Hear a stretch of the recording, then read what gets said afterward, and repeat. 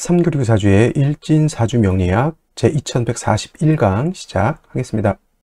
오늘은 양력으로 2024년 9월 16일이고요. 음력으로는 2024년 8월 14일입니다. 오늘 명시 갑진년 개유월 개미일이 되겠고요. 일진은 개미가 되겠습니다. 자, 사주 볼 때 제일 중요한 것 일주의 천간인 일간이고요. 그 다음에 월 주의 지지인 월령, 월지가 되겠습니다. 그래서 일간과 월령이라고 하는 것 매우 매우 중요한 두 글자가 될 것인데 오늘 일간이라고 하는 것 개라고 하는 천간이 일간이 되겠습니다. 이 개라고 하는 천간은 어, 천간 10개가 있습니다. 임, 어, 갑을병정, 무기경신, 임계라고 하는 10개의 천간 중에서 이제 마지막 번째 천간이 되는 것이 바로 이 개라고 하는 천간이 되겠고요. 목화토금수라고 어, 오행으로 구분하게 되면 갑을은 목이 되는 것이고 병정은 화가 되는 것이고 무기는 토가 되는 것이고 경신은 금이 되는 것이고 어저께 임과 오늘 개는 뭐가 됩니까? 수가 됩니다. 물이 되는 것이고요. 수라고 하는 것은 기운으로 놓고 봤을 때는 뭐와 같다? 차가운 냉기, 차가운 한기가 되는데 그냥 오싹한 기운이 아니라 제가 어제도 말씀드렸지만 사람이 사는 가장 추운 곳 영하 72도라고 하는 마이너스 72도라고 하는 곳에도 사람이 산다. 저는 어떻게 사는지는 잘 모르겠지만 뭐 보안이 뭐 과간입니다 이거. 그래서 그런 북한의 차가운 기운을 갖다 물의 기운인 수의 기운이다라고 하고요. 계절로는 당연히 겨울이 되겠습니다. 겨울. 천간으로는 임수, 개수가 겨울을 어, 관장한다라고 봤을 때 지지에서는 해월, 자월, 축월이 어, 겨울을 관장한다. 그래서 해월, 자월, 축월이 겨울에 해당이 되고 수가 왕한 계절 수왕절이로 이렇게 보는 것이고 방향은 북방, 북쪽이 되겠습니다. 북 쪽 이렇게 구분해 볼 수가 있죠. 주관하는 색깔 당연히 수의 색깔은 흑색. 선생님 제가 봤을 때 물은 투명하던데 백색으로 보는 것이 맞지 않겠습니까? 이렇게 보시는 분들 있는데 그런 분들은 이제 어, 밥그릇에 떠놓은 물이라든가 시냇물만 봐서 그렇죠. 바다같이 진짜 깊은 물은요. 물이 얕을 때는 투명해 보이지만은 물이 점점 점점 깊어지면 파란색으로 에, 메랄드빛의 그런 빛깔이 됐다가 더 깊어지면 푸른색, 그 다음에는 짙푸른색, 검푸른색, 그 밑으로 가면 이제 검정색, 본색이 바로 수의 기운은 흑색인 것이다 라고 볼 수 있겠고요. 주관하는 색깔, 현무라고 하는 상상 속의 동물이죠. 상상 속의 동물이니 누구도 본 적이 없을 것이다. 저는 그렇게 당연히 생각할 것이고요. 인의 예지신이라고 하는 오상으로 봤을 때 수라고 하는 것은 어떻다? 지혜를 뜻한다라고 해서 물이라고 하는 것은 위에서 아래로 흘러가는 순리를 따르는 그러한 오행인 것이고 물이라고 하는 것은 또한 지혜를 뜻한다라고 하는 뜻은 어, 어떠한 틀에 구속이 되지 않습니다. 물이라고 하는 것은 네모내질 수도 있고요. 동그래질 수도 있고 그 다음에 물방울이 될 수도 있고 하는 그러한 어, 유연성을 가지고 있지만 유연하다고 해서 힘이 없는 것이 아니라 목화 토금수 중에서 가장 파괴력을 크게 가진, 갖는다? 제가 봤을 때는 물수가 엄청난 힘을 갖는다. 불이 나봤자 뭐 좀 태우고 말겠죠. 물 난리 나면 장난 아닙니다. 그죠? 하, 다못해 저 쓰나미 한번 일어나 보십시오. 좀 영화도 어, 해운대 같은 영화라든가 쓰나미 같은 거 일본 저기 후쿠시마 거기 지금 오염, 오염수 그런 얘기도 하고 는 있지만은 그 쓰나미 라고 하는 것이 엄청난 그러한 파괴력을 가지고 있다라고 하는 것 여러분들 꼭 명심해 두시기 바라고요. 자, 다시 어, 수라고 하는 것 어, 다시 음과 음수와 양수로 이렇게 구분해 볼 수가 있죠. 어저께 공부했던 임수라고 하는 것이 있었습니다. 임수, 임수라고 하는 것은 양의 기운을 가지고 있는 수라고 설명을 드렸죠. 그래서 임수라고 하는 것은 양의 기운, 크고 넓고 깊은 개념의 물이라고 해서 대수죠. 가장 큰 물은 바다, 다음 뭐 강도, 양쯔강, 한강, 미시시피강, 나일강 뭐 등등의 어, 강이 있고요. 또 호수 같은 경우에도 한반도보다 더 큰 호수가 있다라고 이렇게 어, 보고가 되고 있습니다. 그래서 임수는 양수로서 대해수 같고 바다라든가 큰 강 호수와 같은 개념이다라고 봤을 때 상대적으로 음수인 개수는 우로수라고도 표현하죠. 비우 자 이슬로 자 하늘에서 내리는 이슬비 같은 개념으로 보, 기도 하고 옹달샘 있죠. 옹달 옹달샘, 깊은 산 속, 옹달샘 같은 작고 맑고 깨끗한 물 또는 정화수 같은 거, 음용수 같은 거, 성수 같은 개념 이렇게 볼 수가 있는데 핵심은 여러분 자 공통점이 있습니다. 우로수라고 하는 개념, 옹달샘, 정화수, 음용수, 성수의 공통점은 뭘까요? 그렇죠. 맑다라는 거예요. 맑다. 맑고 깨끗하다. 좀 유식하게 표현하면 청징하다, 청량하다라고 하는 것이 개수의 특징. 그러면 임수는 더럽습니까? 아니죠. 임수, 수라고 하는 것은 자체가 맑고 깨끗함을 좋아하지만 그 중에서도 임수와 개수라고 놓고 봤을 때 어떤 물이 더 깨끗하냐는 얘기죠. 깨끗함을 원할 때는 임수, 바다 안에는, 강 안에는, 호수 안에는 미역도 있고요. 뭐 흙탕물도 있을 수 있겠지만 이 사람이 먹을 수 있는 그래서 제가 음용수라고 표현을 비유를 하는 이유도 거기 있고요. 그 다음에 성수, 캐톨릭에서 쓰는 성수가 더러운 말이 됩니까 이게? 하늘의 기도를 드리는 정화수가 더러우면 되겠냐고요. 그래서 맑고 깨끗하다라고 하는 것을 강조하기 위해서 제가 이 음용수, 성수, 정화수를 비유를 두는 거고 그 개수의 핵심 바로 이 맑고 깨끗함에 있다라고 하는 것이 가장 큰 특. 특징이다라고 여러분들이 꼭 기억해 두시면 되겠습니다. 자, 임수라고 하는 것 설명 신왕했을 때, 신왕했을 때 뭐라고 했습니까? 물이 많아지기 때문에 무토로서 제방하고 병화로서 조후하면서 무토를 도와줘야 된다. 이렇게 말씀을 드렸는데 개수는 왕하더라도 무토 기토를 쓰면 된다, 안 된다, 안 된다. 무토가 왕해지게 되면 개수는 땅 속에 매물이 될 것이고요. 기토가 있게 되면 개수를 갖다가 탁수로 만들어 버리면 개수의 핵심이 뭐다? 청징함이죠. 맑고 깨끗해야 되는데 땅 속에 묻혀버린 물을 갖다가 여러분 마실 수 있겠습니까? 또는 흙탕물인 탁수를 갖다 여러분 마시라면 마시겠습니까? 이건 못 마시죠. 그래서 개수는 토를 보게 되면 안 되고 만약에 부득이하게 무토기토 사주에 섞여져 있다?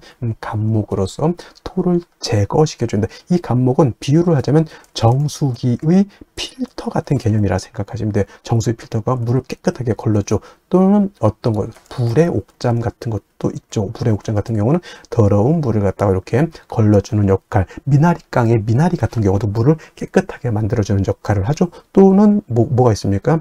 연꽃 같은 경우도 물을 정화시켜주는 역할을 하죠. 이 바로 이 감목이라고 하는 것이 그런 역할을 한다. 그래서 목이 토가 있어서 물이 타게질 때는 감목으로서 그걸 제거시켜서 물을 깨끗하게 만든다라고 보시면 되겠고 개수일간도 일간이 신왕할 때가 있겠죠. 물이 많아질 때가 있습니다. 그러면 임수같이 무토를 쓸 것이냐? 개수는 무토를 쓰면 안 되고요. 개수일간이 왕할 때는 반드시 병화를 쓰고 감목으로서 병화를 보호자 해 줘야 된다. 왜 병화를 쓸까요? 물이라고 하는 것은 얼면은 뭐가 됩니까? 얼음이 되죠. 물이 얼어서 얼음이 되면 마치 경금과 같이 되죠. 여러분들 물에서는 수영을 할 수 있는데 얼음 위에서는 수영할 수 없죠. 자칫 자빠졌다가는 팔이 부러지고 다리가 다치고 머리가 깨질 수 있습니다. 얼음 마치 경금이 되, 경금화 되는 것이죠. 그래서 물은 얼면은 물로서의 용도가 떨어지기 때문에 물이 얼지 않도록 만들어줘야 된다. 근데 수라고 하는 건 뭐라고 했습니까? 임수든 개수든 어, 수의 기운은 냉기, 한기라고 했죠. 영하 72도 제가 그래서 설명드린 겁니다. 물은 얼면 얼음이 되죠. 얼음은 금이 된다 이렇게 생각하시면 돼요. 그래서 물에 영해지면 한기가 가중되기 때문에 반드시 화가 있어서 따뜻하게 녹여줘야 되는 이때 조후로 하는 화는 정화를 쓰는 것이 아니라 병화를 써야 되고 개수가 왕할 때 병화를 쓸 때는 수국화에서 병화 자체가 약해지기 때문에 반드시 간복으로서 병화를 갖다가 도와줘야 된다, 생조해줘야 된다, 유식한 말로 좀 어, 보좌관이죠. 보좌해줘야 된다. 이렇게 보시면 되겠습니다. 그래서 개수라고 하는 특징은 같은 수라 하더라도 임수를 왕하면 무토를 쓰지만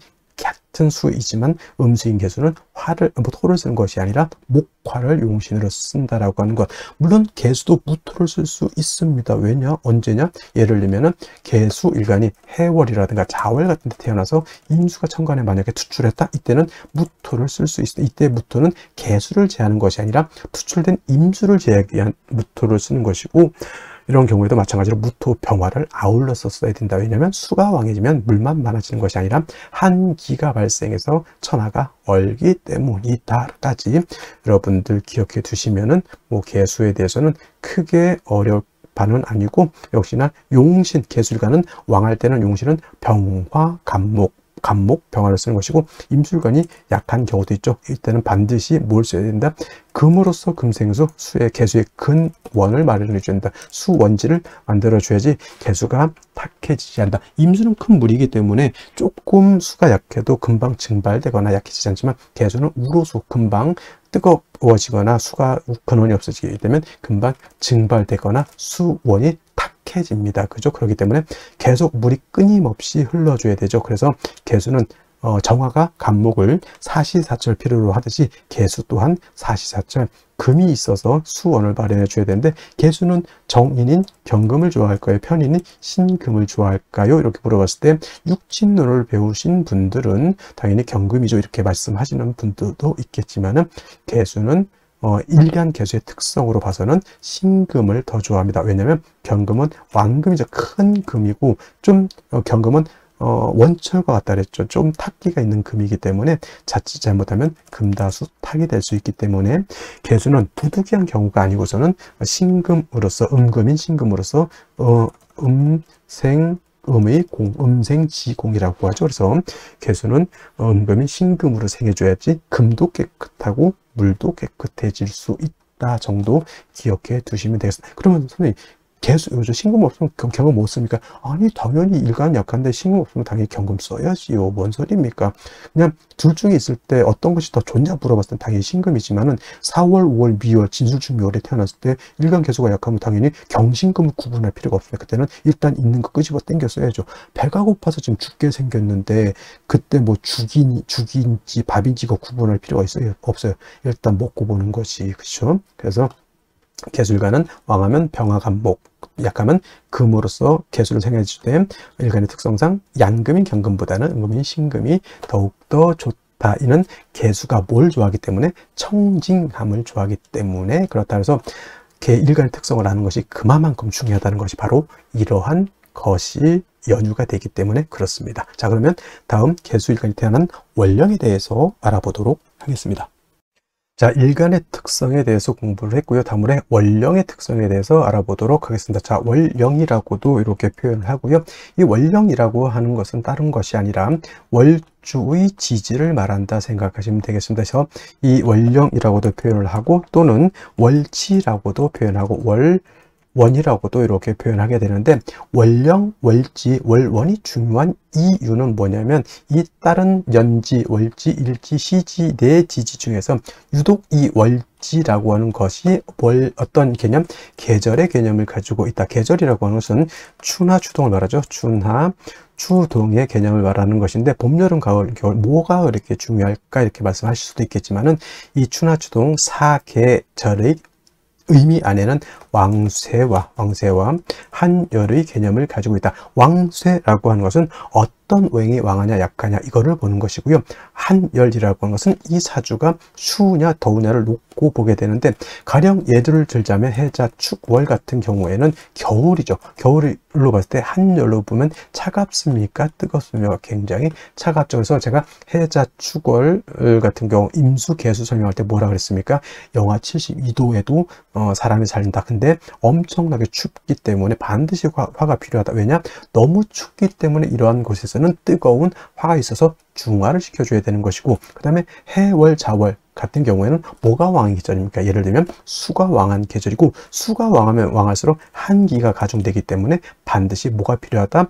이거를 갖다 조절시켜 줄 수 있는 것이 필요하죠. 왕 수가 왕하니까 예를 들어서 수가 임수가 왕하다 무토로서 제방해야 되고 병화로서 따뜻하게 조어야 된다라고 하는 그런 이유가 나오는 이유가 어, 연유가 뭐냐면 바로 이 왕세와 한열이라고 하는 개념 그리고 왕세와 한열이라고 하는 것은 반드시 중화를 이루어야지만 된다라고 하는 그런 핵심이 여기에 담겨져 있다서 사주라고 하는 것은 뭐다? 중화된 사주가 굉장히 좋은 사주입니다. 중화된 사주 나야지만 부귀 영화를 얻을 수 있는 것이고 중화를 잃게 되면 부귀 영화가 아니라 매우 빈천, 빈한한 그러한 사주가 될 수밖에 없다라고 하는 것이 바로 이, 이 왕세연녀를 볼 수 있는 가늠자 역할을 하는 것이 바로 이 유, 어, 원령이라고 하는 것인데 지금 월은 유월이 되겠죠. 유월. 자, 유월이라고 하는 원령 안에는 뭐 어떤 개념을 가지고 있냐면 절기라고 하는 개, 어, 개념을 가지고 있습니다. 제가 계절할 때 24절기를 말할 때 항상 월이 바뀌는 기준이 있다. 인월에서 묘월로 바뀌는 기준, 묘월에서 진월로 바뀌는 기준이 그냥 양력 1월 1일 또는 양 어, 음력 뭐 1일 날 바뀌는 것이 아니라 매 절기마다 어, 바뀌는 기준이 달리 있다라고 했는데 자 6월은 6월은 어떤 절기가 있을까요? 6월은 바로 입추가 아니라 백로와 백로와 어떤 계절 추분이라고 하는 절기로 이렇게 구분해 볼 수가. 그래서 추분이라고 하는 것도 좀 나름대로 의미는 있을 수 있겠지만은 6월의 핵심은 보다 백로, 백로가 되어야지만 월이 신월에서 유월로 이렇게 전환이 되는 것이고 그 다음에 원래는 신유 술월이 자체가 신유술월이 다 가을에 해당이 되지만 가을에 해당이 되면서 금왕절에 해당이 되지만 신월은 제가 어, 초추 초가을이라고 했으면 6월은 중추라고 해서 금이 가장 왕성한 시절. 그래서 신월은 금이 어떻다? 임관지가 돼서 왕하고 6월은 6월은 금이 제왕지가 돼서 왕하게 되니 신월과 6월이 12달 중에서 가장 금이 왕한데 중요한 것은 같은 금왕절이라 하더라도 신월은 신월은 지장간이 무토, 임수, 그 다음에 경금이 이렇게 들어가 있고요. 6월 같은 경우에는 지장, 지장간이 뭐가 있습니까? 경금과 신금으로, 신금으로 이렇게 들어가 있죠. 그래서 신월 제가 설명할 때는 무토는 있어도 격을 중하거나 용신을 중할 때 쓴다 안 쓴다 안 쓴다라고 했고요. 신월은 오로지 임수 경금만 용신으 로 쓸 수 있고 격을 채용할 수 있다 이렇게 말씀을 드렸고 그다음에 6월 같은 경우에는 경금 신금 다른 불순물이 전혀 없습니다. 신월 같은 경우에는 물도 섞여져 있고요. 또 토도 섞여져 있기 때문에 금이라 하더라도 약간 탁기가 이렇게 섞여 서려져 있지만은 6월 같은 경우는 신금 경금 말죠 순수한 금만 들어가 있고 특히나 6월 같은 경우에는 경금 같은 경우는 신월의 무토와 마찬가지로 용신을 추용하거나 어, 격을 추용할 때 이 경금을 쓰지 않습니다. 6월은 그냥 쉽게 말하면 오로지 맑고 깨끗한 신금만 있다 생각하면 돼요. 경금하고 신금하고 어떤 게 더 깔끔합니까? 경금은 완철금, 금방 땅 속에서 캐낸 원철이기 때문에 투박하고 조금은 불순물도 섞여 있다라고 설명을 했는데 신금은 그야말로 맑고 깨끗한 금반지, 금귀걸이 같은 개념이죠. 도자기 같은 개념 매우 깨끗합니다. 그래서 같 은 금이라 하더라도 같은 금왕절이라 하더라도 신월보다는 6월에 금이 더 맑고 깨끗하다. 그래서 6월 같은 경우 개수일간이 됐든 임수일간이 됐든 수일간이었을 때 6월에 뭘 하기가 좋다? 금, 백, 수청하기가 좋다라고 하는 이유가 바로 6월에는 불순물이 들어져 있지 않기 때문에 그렇게 볼 수가 있는 것이다 라고 말씀을 드릴 수가 있겠습니다. 단 중요한 것은 신월에는 임수가 있기 때문에 원령수수로 물을 가지고 있지만은 6월 같은 경우에는 순수한 금만 있지. 여러분들 착각해서는 안 된 게 금이 있다고 해서 습하다라고 생각하면 안 돼요. 금만 있으면 금이 있어도 건조해질 수 있거든요. 그래서 신금하고 6월은 어, 신, 신월하고 6월은 차이가 뭐냐면 신월은 금이 왕하고 숙살기도 있지만 물기가 있어서 조금은 물기, 습한 기운을 가지고 있지만 6월은 그야말로 청량합니다. 기온은 하강되어 있지만 물기가 없기 때문에 6월은 건조하다라고 하는 개념. 그래서 수를 용신으로 쓸 때 신월 같은 경우에는 임수를 가지고 있지만은 6월은 물이 없기 때문에 개수 또는 임수 예를 들어서 무토기토가 일간 6월 신월에 태어났을 때는 원령의 임수를 쓸 수 있지만은 무토기토 같은 경우가 특히 을목 같은 경우가 6월에 태어났을 때는 물이었기 때문에 반드시 개수가 있어 주어야 하는 이유가 바로 신월은 임수를 가지고 있고 6월은 임수를 수를 가지고 있지 않는다라고 하는 개념에서 어, 그런 것도 잘 살펴봐야 되겠고요. 그 다음에 신월, 6월 특히는 지금은 6월이니까 6월은 금왕절이 되겠죠. 자, 금이 왕하면 왕할수록 뭐가 왕해질까요? 금은 어, 수를 생하는 관계가 있으니 수가 있다라고 하면 금수가 같이 왕해질 것이고 금이라고 하는 것은 수만 생하는 것이 아니라 목을 가는 역할도 죠 금, 극, 목의 역할도 하기 때문에 신월, 6월은 금의 절지 또는 절퇴지가 있기 때문에 목은 약해지게 됩니다. 또 토라고 하는 것은 금을 생하게 되죠. 그래서 토라고 하는 것이 금을 생하는데 신월, 6월 같은 경우에는 금이 약하기 때문에 금이 왕하고 토가 병지, 사지에 해당이 때문에 토도 세력을 잃게 되는 것이고 화토는 동궁하기 때문에 화화 또한 신월 6월에 굉장히 신유술월에 화토가 같이 약해진다라고 하는 것. 그래서 제가 원령이 중요하다라고 하는 것 말씀드렸던 것처럼 왕세와 한열이라고 하는 것이 이 안에 들어가 있고 이걸 보기 위해서는 바로 바로 원령이라고 하는 것을 잘 이해해야 된다. 그리고 왕세와 한열이라고 하는 것은 반드시 중화를 이루어야지만 좋은 사주가 될 수 있다라고 하는 것. 그래서 원령을 통해서 최소한 요 정도까지는 여러분들이 기본적으로 유 추할 수 있어야지만 뭘 할 수 있다? 사주를 명확하게 어, 분석해낼 수 있다. 이렇게 보시면 되겠습니다. 자, 이렇게 금이 왕한 6월에 일간 개수가 태어나게 되면 사주를 어떻게 배합할까요? 제가 어저께 임수할 때 힌트를 드렸습니다. 자, 6월에 신금이 일간이 되거나 임수가 일간이 되거나 개수가 일간이 되거나 이거는 모두 어떻다? 금백 수청함을 좋아한다. 근데 중요한 것은 어, 신금 개수라고 하는 것은 어, 신금이라고 하는 것은 수가 아니기 때문에 신금은 신금이 금백수청이 되려면 별도로 임수라고 하는 것을 좀 얻는 것이 필요하겠죠. 개수가 6월에 태어나도 이건 금백수청을 좋아하는 게 뭐냐면 개수라고 하는 것이 뭐였습니까? 우로수라고 그랬죠. 청징함이 생명인 것이 바로 개수고 그래서 제가 개수를 설명할 때는 자 개수가 약할 때는 금으로서 수를 생해주는 것이 필요합니다. 이때 필요한 것은 경금으로서 생해주는 것보다는 뭘로 생해주는 것이 좋다? 신금으로 생해주는 것이 좋, 다 왜요? 음생, 음의 공, 음생의 지공이기 때문에 맑은 개수는 맑은 신금으로 생해주는 것이 필요하다라고 했는데 신월 같은 경우에는 신월 이 신월 같은 경우에는 물론 금이 왕하긴 하지만 안에 무토라고 하는 것이 섞여져 있고 임수도 섞여져 있죠. 개수가 임수 보면 좀 좋지 않게 보는 것이 이유가 있습니다. 그죠? 바닷물하고 우물하고 섞이는 그런 느낌이거든요. 그래서 신월 같은 경우에는 금백청을 논하지 않는 것이고요. 6월은 순수한 금, 신, 특히나 경금이 없는 것과 같기 때문에 신금으로서 개수를 생하기 때문에 금백수청함을 전 이때는 뭐 임수가 있을 필요는 없습니다.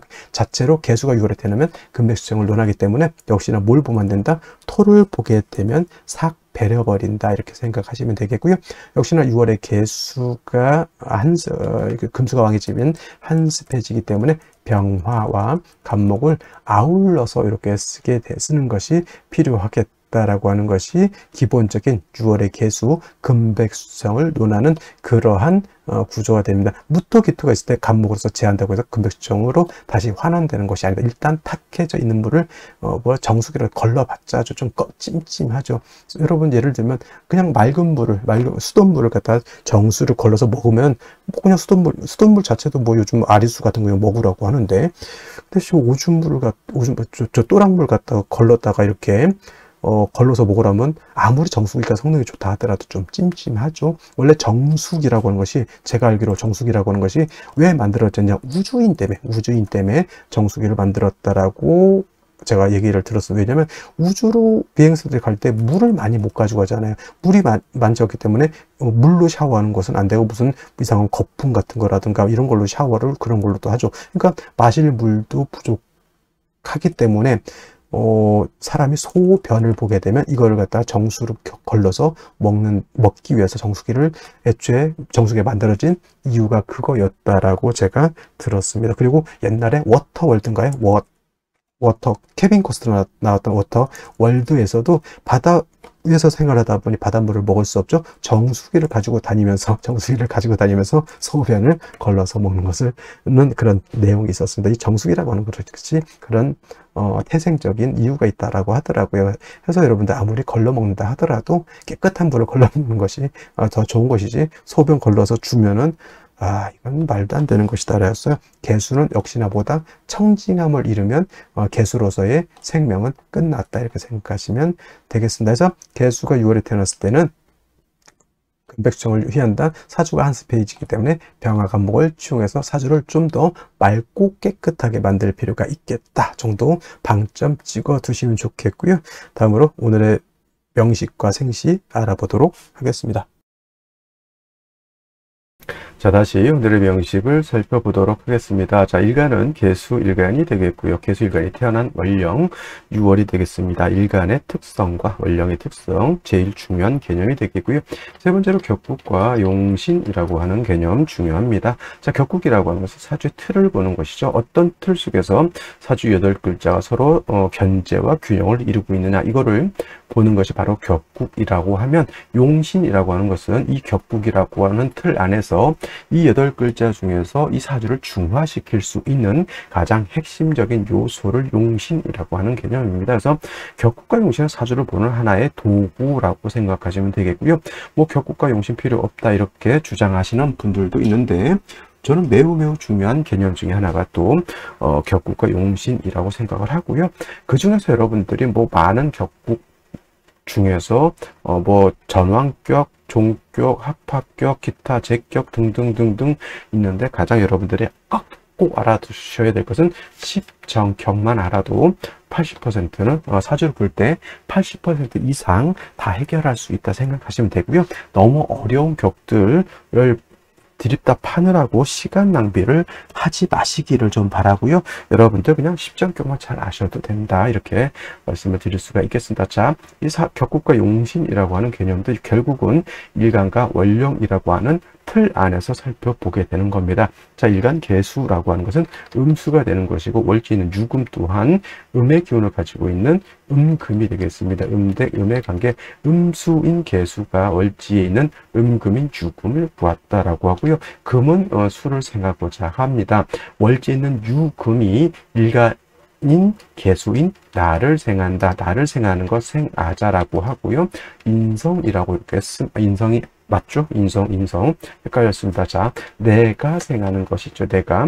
이거는 어, 내가 생각하는 걸 아생자라고 하고요. 아생자라고 하고요. 그 다음에 아생자는 식상이라고 이렇게 쓰죠. 제가 이거 하고 지금 순간 헷갈렸습니다. 자, 나를 생하는 것 생하자 인성, 내가 생하는 것 아생자 식상. 식상은 여자 입장에서 자식과 같은 것이고요. 인성은 남녀 불문하고 나를 낳아주는 어머니와 같다. 물론 생모도 있을 수가 있겠고 적모, 생모 정모 같은 말이고요. 계모도 있을 수가 있겠고 서모도 있을 수가 있겠고 양모도 있을 수도 있겠고 있겠죠. 그래서 뭐 정모가 좋고 계모는 나쁘다. 뺑덕어만 생각하고 뭐 이렇게 해서 어, 그 그렇게 구분하시는 분들도 있는데 물론 나를 낳아준 생모가 좋겠지만은 결국은 나를 어, 나, 어, 케어해주고 보호해주는 것은 뭐 양모나 똑같다 생각하시면 되겠습니다. 일간의 특성에 따라서 정의를 좋아하는 경우도 있고요.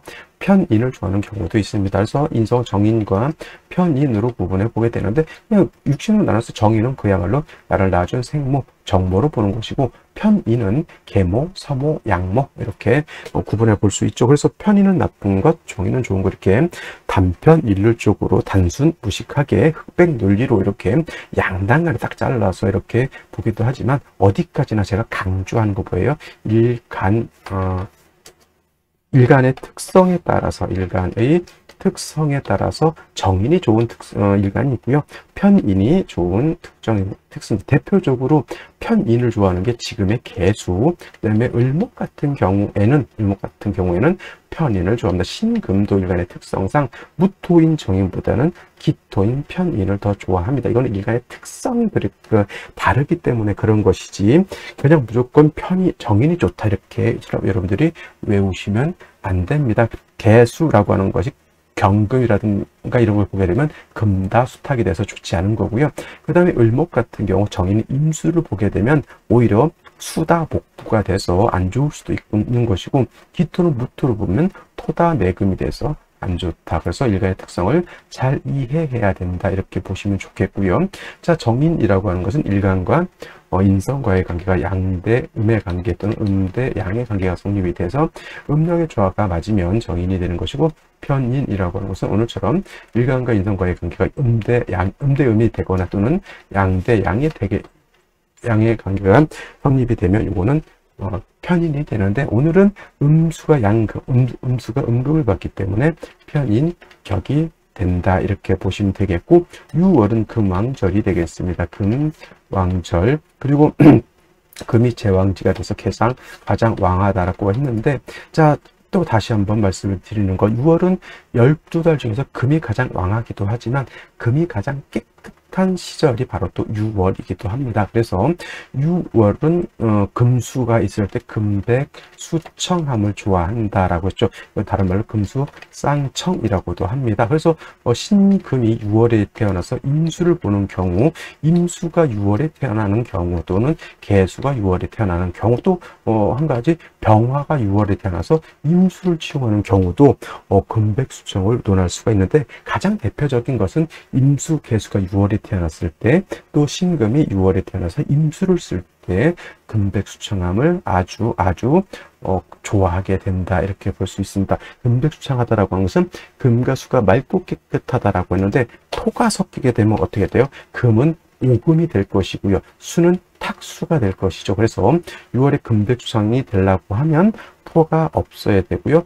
그러 다음에 보험 하나 드러나야 된다. 간목이 있어서 토기운이 약간 끼게 되면은 저 간목으로서 토를 갖다가 다 제거시켜 주는 것이 필요한 사주 구조이다라고 보시면 되겠고요. 또 금백수정의 하나의 단점이 금수가 세력을 얻게 되면 사주가 한습해지는 것이니 한습해진다라고 것은 사주가 차가워지는 것이니 조후의 의미가 필요하다. 조후는 정화로 하기보다는 병화로 하는 것이 좋겠다 이렇게 보시면 되겠습니다. 그래서 6월에 개수가 태어나게 되면 물론 원령 자체에도 유금이 있지만 어, 개수가 좋아하는 것은 경금이 아니라 신금 이런 거 굉장히 좋아합니다. 신금으로서 개수를 생겨주죠. 그러면 금수만 이렇게 있게 되면은 사주가 한습해지는 것이니 뭐다 병화로서 따뜻하게 조후하는 것이 필요하다라고 볼 수 있죠. 그래서 6월의 개수는 신금 병화 병화 신금을 대동했었을 때 어, 병화 자체가 약하, 약하다라고 봤을 때 지지로 인사, 오 등의 병화 좀 뿌리를 두는 것은 좋으나 가장 꺼리는 것 토가 있으면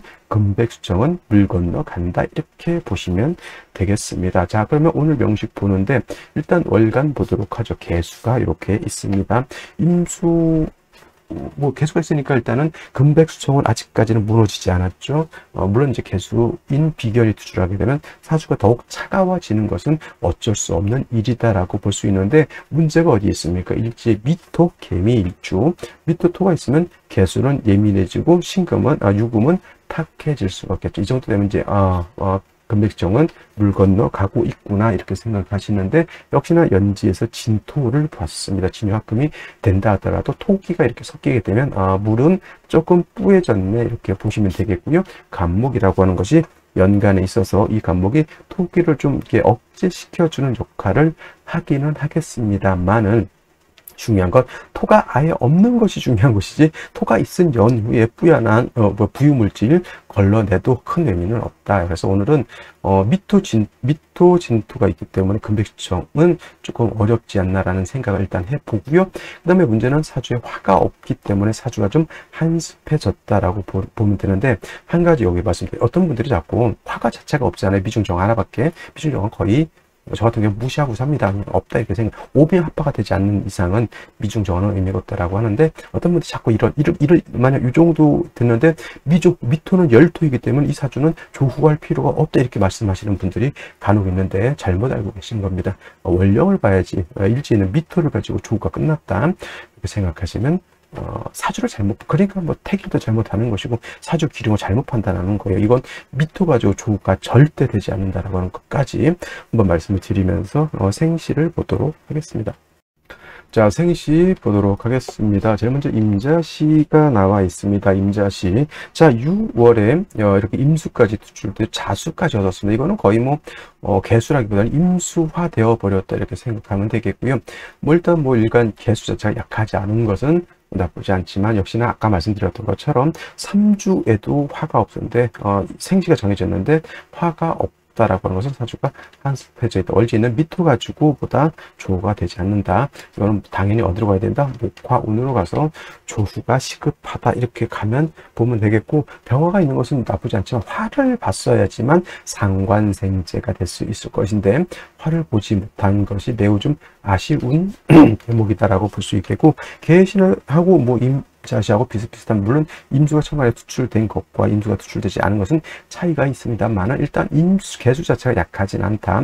어, 원령의 생을 봤죠. 진에 뿌리를 두었죠. 해수에도 뿌리를 두었기 때문에 그 다음에 간목이 어, 진 미해다 뿌리를 두었죠. 화가 이것도 마찬가지로 화가 없는 것이 매번 단점이 되겠습니다. 오늘 역시나 목화운으로 가서 뭐가 필요하다? 조후 따뜻하게 해주는 것이 필요한 사주 복세 이렇게 보시면 되겠는데 갑인씨 같은 경우에는 이거 의외로 의외로 이쯤 되면은 의외로 수가 왕하다라고 보기가 좀 어렵습니다. 아까 임자시 계시는 수 자체가 자수 해수에 뿌리를 줬지만은 이거는 솔직한 말로 개수가 유에 뿌리를 내릴 수 있어요 없어요 제가 지금 말하는 것은 어 개수가 통근을 어디 다느냐 그 말을 그걸 물어보는 것인데 개수가 통근할 수 있는 것은 진중 개수 하나밖에 없습니다 유금의 통근이 되지 않죠 유금은 그냥 금을 생각해 그러면 의외로 이 개수가 신약 약한 구조. 제가 어저께 인수가 6월에 되나도 왕하지도 않고 약하지도 않다라고 했는데 개수는 이건 신약으로 볼 수밖에 없는 상태죠. 그래서 이러한 경우에는 간목이 있어서 수의 기운을 설하기 때문에 물론 병화로서 조후하는 것도 필요하겠지만은 운은 어디로 가야 된다? 목화운이 아니라 금수 운으로 가는 것이 필요하다. 을 묘시 선택할 바에 는 당연히 병인시를 선택하는 아, 갑인시를 선택하는 것이 좋을 것이고 병진시가 되면 지지를 토가 벌써 4개가 되겠죠. 개수 입장에서 6월 어, 금이 왕한 6월이라 하더라도 토가 3개가 되면 개수 입장에서 굉장히 부담스럽습니다. 어, 진, 술 운이 오면 진술중, 축 운이 오면 축미중, 개수가 언제보다 탁수가 될지 모르는 그런 상황이죠. 병화가 있어서 조우 가는 것은 나쁘지 않은데 병화도 솔직한 말로 통근자가 미중 정화 하나밖에 없죠. 병화도 좀 약합니다. 그래도 없는 것보다는 낫다라는 생각, 감목에서 병화를 생겨주는 구조 좋죠.